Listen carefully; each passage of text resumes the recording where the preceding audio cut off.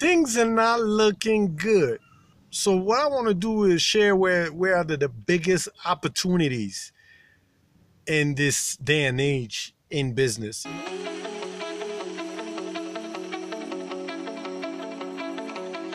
Don't fear failure.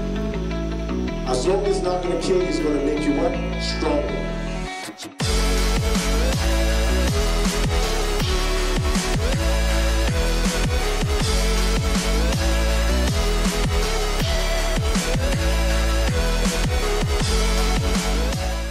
The world is changing. It's changing, right? It's getting hotter. When it rains, it pours. The sea rising, etc., etc., etc. And um, I'm a firm believer, and I know for a fact, humans are the biggest player to this causing uh, this cause of, of global warming. I mean, I have no doubt about it. I have just no doubt about it. Unfortunately, I, I, and that's my belief. I believe humans we claim we're so smart, but we're the dumbest animals in this planet. We're the only animals that kill each other to the massive scales. We're the only animals that, you know, consume, destroying our own planet.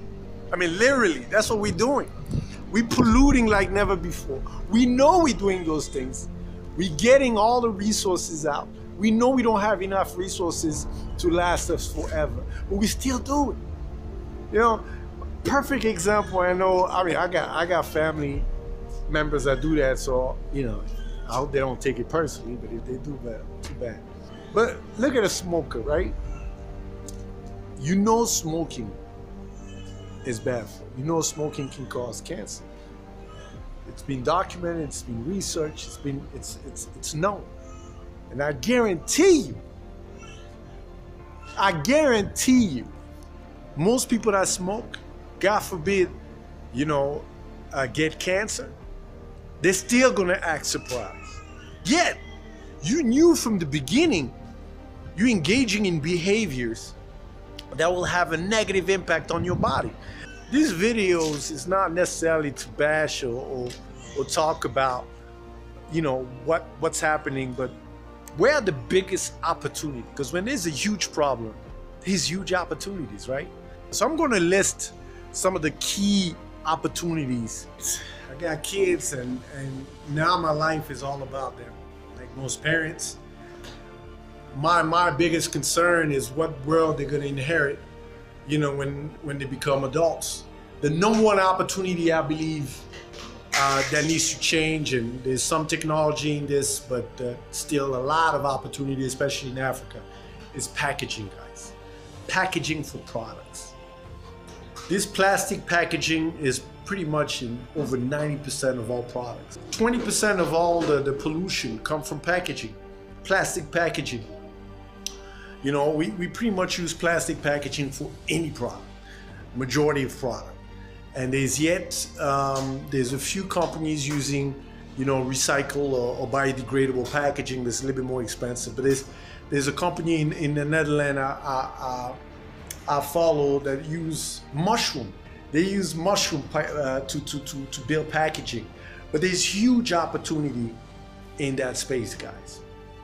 Whether it's packaging for the product, uh, uh, packaging for shipping, all that value chain of packaging from, uh, from product packaging to, to shipping packaging uh, has to be changed. This is a type of investment that is going to take 10, 15, 20 years to, to, to see a return. Because when it comes to changing our behavior, it requires changing our mindset. And to change our mindset, that takes time. Unfortunately, it takes time. What's that, Layla? Guys, the, the, the immediate need we have right now is in the recycling uh, business. Man, there's huge opportunity. And recycling is always a challenge because you recycle and that's it. But I think that what's the missing link is what you do with the recycling byproduct.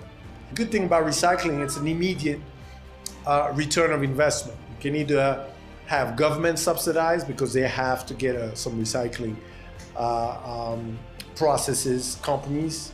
Now there's no way around it. Or you find a way to sell the byproduct, uh, byproduct to a, a manufacturing that might use it for something else in the value chain, or you build your own value chain basically, where you recycle and use the product for something. But recycling again, man, I, I love that space. There's a lot of room for research and development, a lot of room for growth. We've seen organic waste uh, being used for uh, uh, cooking, char- uh, charcoal type of uh, uh, product, you know, biogas, um, electricity. Man, there's so much, so many applications in also huge opportunity, man. Huge, huge opportunity. I'll definitely look into that if you want to be a, a social impact, have a huge impact, and and trying to bring some real value on the ground. Very interesting one. Not the favorite one, but interesting. There's already company in there. Is is sanitation, diapers. Yo, having newborns, man, we buy Huggies, man. I try to buy um, reusable diapers. That didn't last too long. Nobody wants to clean them up off the, the, the shit, and it takes a long time, and it takes discipline again, mindset. Our mindset was not there yet, still not there. So we still, you know, that's easy. You put on, you you throw it away. It's, I'm, I'm even ashamed to admit that, but it's a fact. Having a biodegradable diaper that you can throw and or, or, or and it, it degrades after a short period of time. It says it takes over 100 years for diapers uh, to degrade in, in a natural environment. There's huge, huge opportunity in that space, man. Uh, even pads for women. Uh, I forgot his name, but it was a huge story I read about this guy spent years and years developing um, pads for women. Finally, had a had a developed a, a, a, a, product very good in absorbing and and also biodegradable. Uh, but uh, I've heard about banana leaves uh, companies using that tech. I think the technology is there. Uh, the real opportunity is, to scale it on a much bigger scale. So you don't necessarily have to develop the technology, just have to find a company, work with a company that um, has the tech, and you just scale up the business. Guys, another very interesting area. is biofuel or, or biogas for cars, for vehicles. There is a lot of adapter to your engine to use a new technology. It's much quicker, it's a quick return. Again, it's lacking scalability. You see a lot of them in a niche market. I've seen some in Kenya and Nigeria, but they haven't scaled up yet because um, it requires capital, it requires a, a, drive, a business drive behind it. You know how volatile fuel price uh, oil oil industry is, and in some market, man, you can make a killing in business. Oh my God, I can only imagine. Uh, that's a business I would love to get in. You know, what I would do, I'm just thinking out loud. That was not the point of this video, but why not? But, uh, you know, I'm thinking is you can develop in a process, right? And you find franchises that want to do the process, pick up the oil or, or the, the, the plastic and do the process and all, and then you buy from them. So you don't have to build the whole value chain yourself. Of course, it takes time, it takes money, it takes energy. You have to build the business model, but you have to focus on what you're good at. Uh, if you have the process, then you focus on the process, and then you resell it to distributors. But you have to build a value chain. But the good thing about that business is the value chain is not as different as, as the gas station already existing on the network you know, because you can reuse to the existing engine for specific vehicles, or you can sell direct uh, to government or, or, or, businesses that use like trucking. Oh my God, just thinking about it, man. That's a huge opportunity right there. What I would mention about some of the biggest opportunity um, uh, with this global warming. It's not really an opportunity as a business, but it's an opportunity for our government, especially the Af- you know African government across the continent. Policies. The challenge now comes. Wrong policy actually create more problem than solution, but uh, you can start small and build on it. You know, for example, there should be a, a tax to companies that produce plastic and all those things, or that produce the wrong packaging, and that that that tax should be used for um, financing companies that do recycling. That would work perfectly. You know, another thing is subsidy or tax any machinery or any companies that you know engage into this uh, this uh, economy become greener should be exempt or pay lower tax.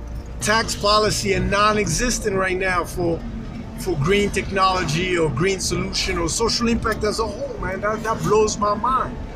We talk, talk, talk, man. I'm tired of going to conferences and just talking, man. And I and sometimes I get invited to come and talk. I I, I, I want to say no, but then again, you know, losing out on networking and all. But I'm like, these conferences are not. A lot of them are not designed to solve any problem. And it's not.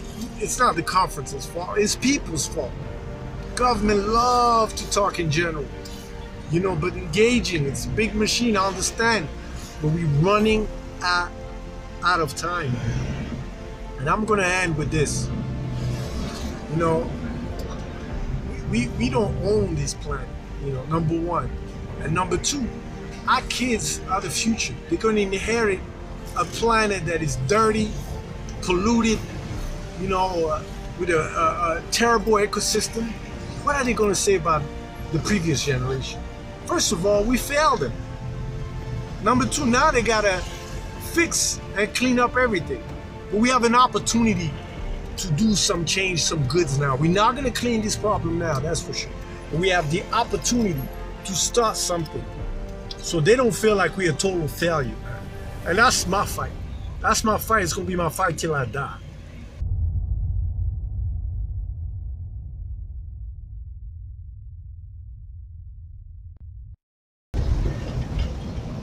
I'm enjoying my Sundays. What about you?